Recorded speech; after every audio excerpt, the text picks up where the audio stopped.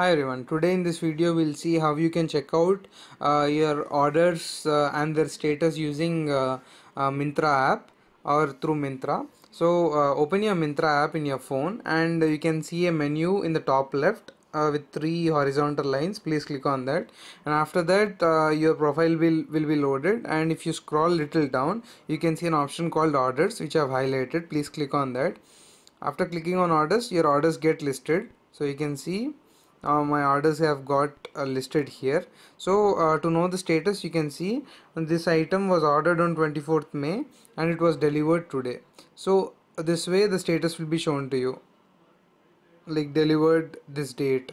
So uh, this way you can check out the orders. And uh, as these are delivered you can see this kind of thing. If they are not delivered you can see a timeline kind of thing like when is the expected date of delivery like that. If you want to know the uh, more on the details just click on that particular order uh, so that the details of that order get opened here so this is the way you can check out orders on your Myntra app. Hope uh, this video was helpful. Thanks a lot for watching this video. Have a nice day. Bye.